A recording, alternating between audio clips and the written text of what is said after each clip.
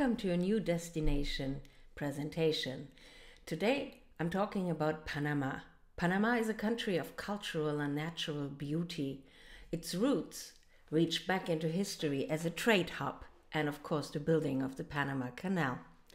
Situated on the isthmus between North and South America, Panama is bordered by Costa Rica in the northwest and by Colombia in the southeast. The population of Panama is between 3 and 4 million, and about 25 to 30,000 American citizens live in the country.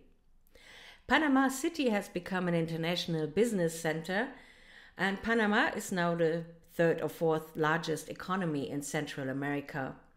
The culture, the customs, and the language in Panama are predominantly Caribbean and Spanish.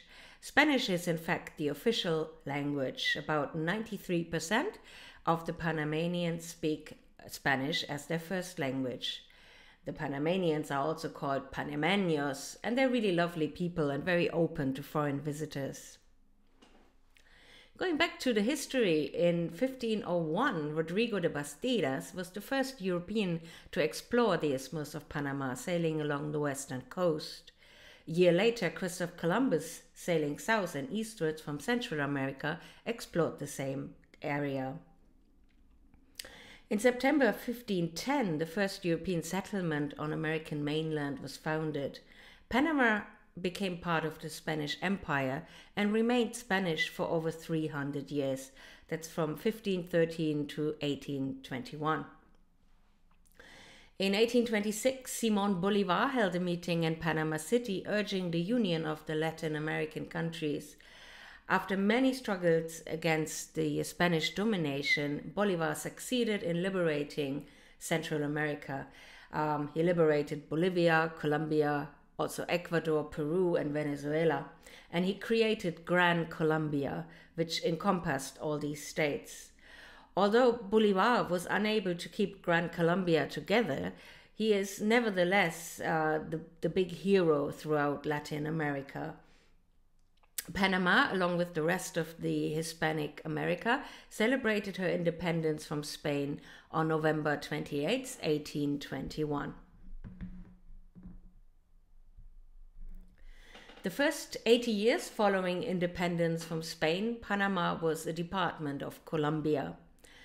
It was then separated and became an independent state on November the 3rd, 1903. That was still 11 years before the opening of the Panama Canal. The most common religion in Panama is Roman Catholicism, Various sources estimate that between 75 and 85 percent of the population identifies itself as Roman Catholic. The Panamanian currency uh, is officially the Balboa. It is fixed at parity with the United States dollar since the independence in 1903. Uh, in practice, the country is dollarized. Panama has its own coinage but uses US dollar for all its paper currency. You probably have seen the Panama hat, or just called the Panama. It is a traditional brimmed hat of Ecuadorian origin.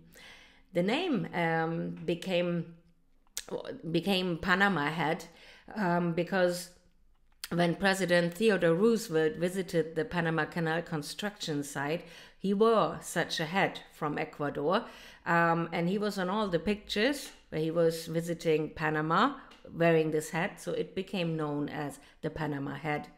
The hats are made from a very certain species of palm tree, the Toquilla straw plant, and they're mostly still produced in Ecuador.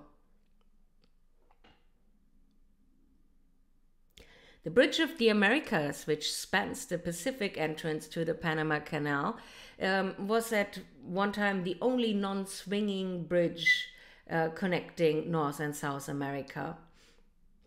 Uh, that was before the opening of the Centennial Bridge in 2004. The Bridge of the Americas uh, crossing the Panama Canal was built between 1959 and 1962 by the United States at a cost of about 20 million US dollars. From its completion in 62 until the opening of the Centennial Bridge, it was also part of the um, Pan American Highway Then the Pan American Highway was moved to the new um, Centennial Bridge. Undoubtedly, the most cosmopolitan city in Central America is Panama City. It is both the gateway to Panama's natural riches and it's also a vibrant destination in its own right. It is a thriving center of international trade and banking, and it sports a, skyline of shimmering glass and steel towers that is uh, reminiscent of Miami. Not surprisingly, the uh, city residents often joke that Panama City is the Miami of the South, except that uh, more English is spoken in Panama City than in Miami. Joking. Panama City is a very multicultural place with uh, large populations from many different parts of the world. Spanish is, of course, uh, the first language, but uh, English is spoken a lot in various forms. Uh, Panama City has a total metro population of well over 1 million inhabitants. Panama Viejo was the first city in Panama and it was founded by the Spanish back in 1519. That was the first city founded at the Pacific and it became rapidly a prosperous point where all the gold and the riches from the southern Spanish colonies, like in Peru, um, were taken to and to be carried on to Europe. The Spanish managed to keep the existence of Panama City a secret in Europe for over a hundred years. But when it became known, especially to the English, Panama City was attacked by pirates. It was attacked several times, and the last attack by pirate Henry Morgan destroyed the city forever. That happened in 1671. Two years later, the survivors built a new city, which is now Panama City. Um, this time they built a fortification wall around it, and they built it about uh, eight miles further down the coastline. Now, the uh, ruins of old Panama can still be visited. They have a newly erected museum, museum there, which uh, highlights the archaeological finds and there's also an audio visual presentation there. It's a very interesting museum and small district uh, of um, Panama Viejo that's now part of UNESCO World Heritage. Panama City itself, the new Panama City, also has an old part, Casco Antiguo or Casco Viejo.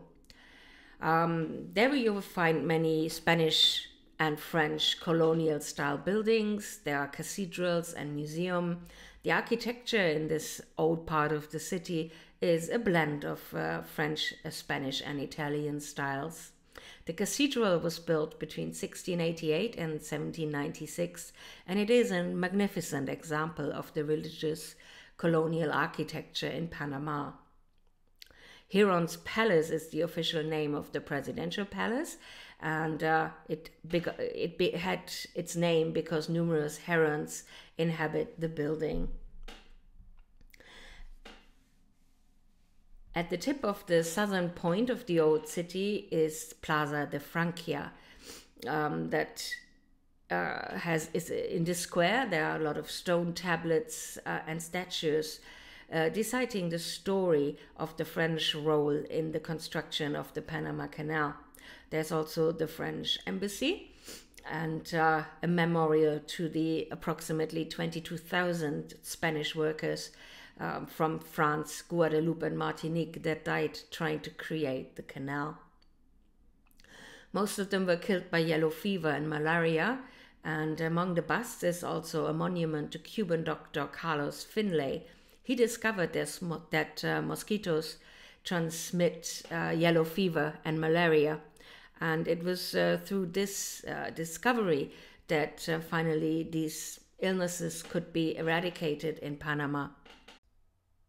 The Panama Canal Railway goes from Panama City to Colon on the Caribbean side, or vice versa. This train goes back to 1855 and it was the first interoceanic train in the American continent.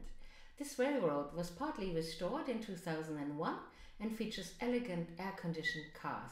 The dome car has an upper deck with full-length observation windows and a bar. The uh, journey takes about 1 hour and 15 minutes. The story of the monumental effort to build the Panama Canal is powerfully depicted in murals mounted on the rotunda of the Panama Canal Administration building. In 1838, a French company was given concession for construction of highways, railroads, and a canal across the isthmus in Canada. Napoleon Garella, an engineer sent by the French government to study and report on the whole situation, recommended a canal from Limon Bay to the Bay of Boca del Monte, 12 miles west of Panama City. But lack of capital caused this canal project to be abandoned. Very few human endeavors have aspired to accomplish something so incredulous and as splitting the continent. An all water route between the ocean was seen as the ideal solution by the French, and the idea of the canal was enhanced by the success of the Suez Canal. What followed was a long fight for rights and concession of the proposed canal. The USA was adamant that uh, any future canal had to be under their jurisdiction, but the French and the British also expressed a vivid interest in building the Panama Canal uh, American President Hayes was quoted in 1880 either the canal is under American control or there will be no canal. Nevertheless, there was no American effort in starting with the canal's construction. It was in fact the French who laid the first stone. The French, under Ferdinand de Lesseps, began construction of a sea level canal, that means without locks. Um, that was in the at that time Colombia's province of Panama, and they started in 1880. Ferdinand de Lesseps um, had been the most important foreign involvement uh, in the Suez Canal, and he was called the hero of Suez. Lesseps' success at Suez made him confident, maybe overconfident, um, and he thought a canal at Panama would be no different than building the Suez Canal.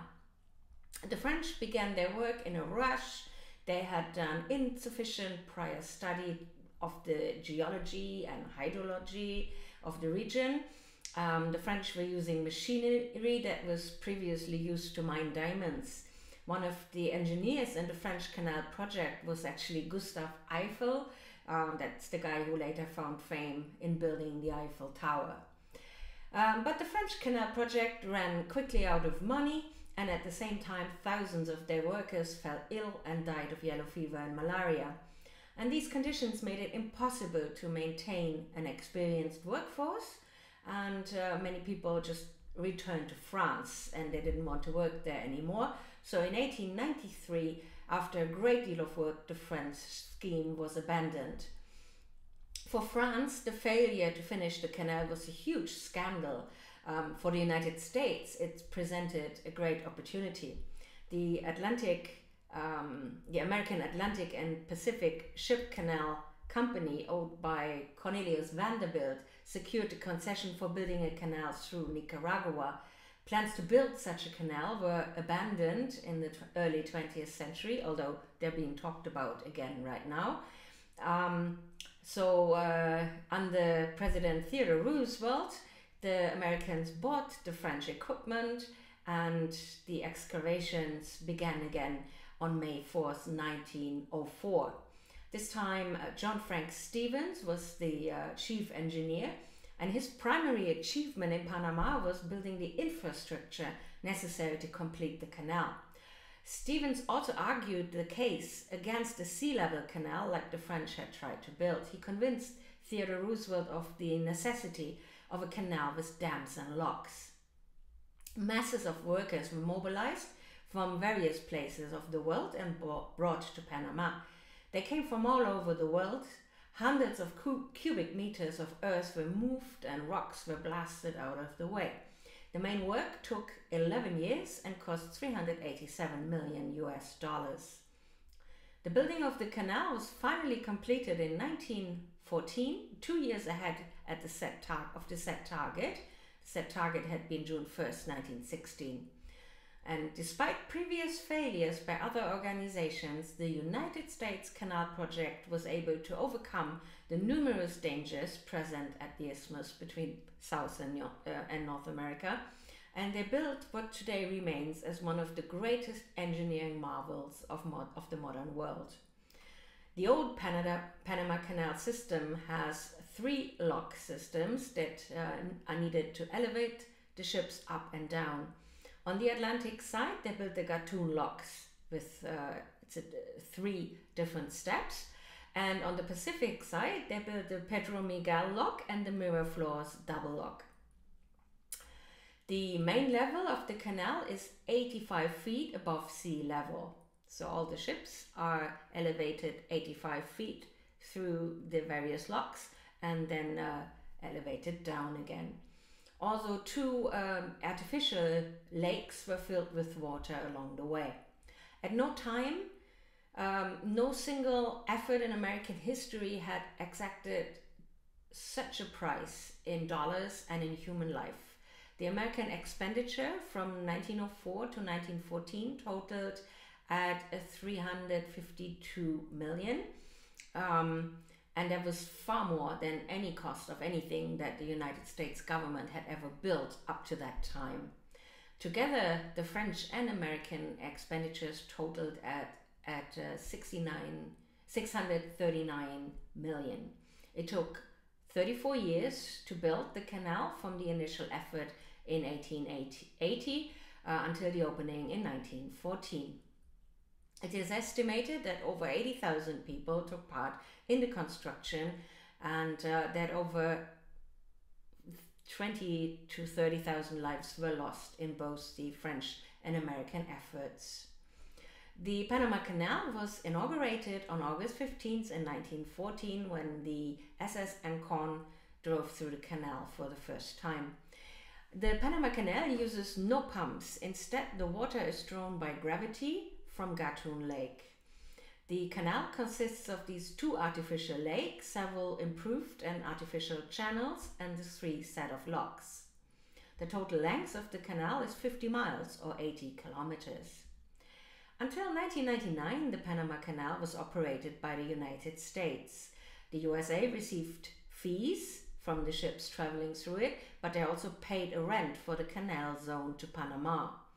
The Torrijos Carter Treaty led to full Panamanian control effective at noon on December 31st, 1999.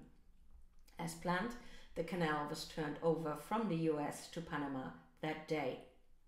The canal still flourishes even though many have been skeptical about the turnover. Over 100 years after its opening, the canal was widened with two new set of locks allowing for larger size vessels to pass through the new locks are operated in addition to the old locks.